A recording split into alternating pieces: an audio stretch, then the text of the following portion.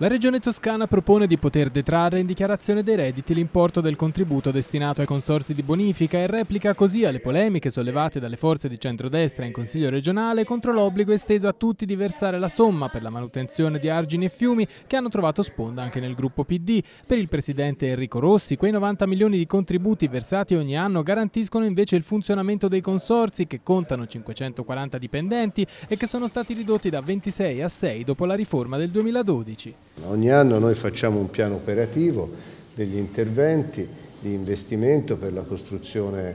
eh, dei bacini, per la costruzione delle casse di esondazione, per gli interventi di consolidamento degli argini e poi ogni anno integrato con questo piano approviamo dei sei consorsi tutte